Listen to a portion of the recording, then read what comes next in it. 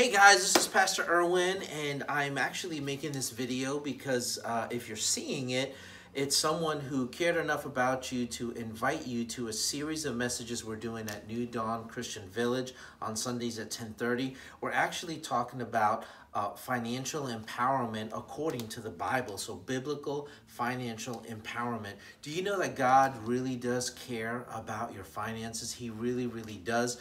And I would imagine that if you're like most people that I've encountered, you've had a negative experience through the church world or maybe the guy on TV or something negative like that. Well, guess what? We're actually just really going through the Word of God and encouraging people, and we believe in empowerment. God believes in empowerment. So I really um, have been praying about the series of messages, and I really feel strong in the Lord that this year in 2019, God wants there to be fullness in all the areas of your life, and that includes your finances. So, if you really want to get some great information, practical information, biblical information, and encourage your faith, uh, come on Sundays at 10:30. You'll really, really be blessed. If you know anyone who's really struggling in the area of their finances, invite them.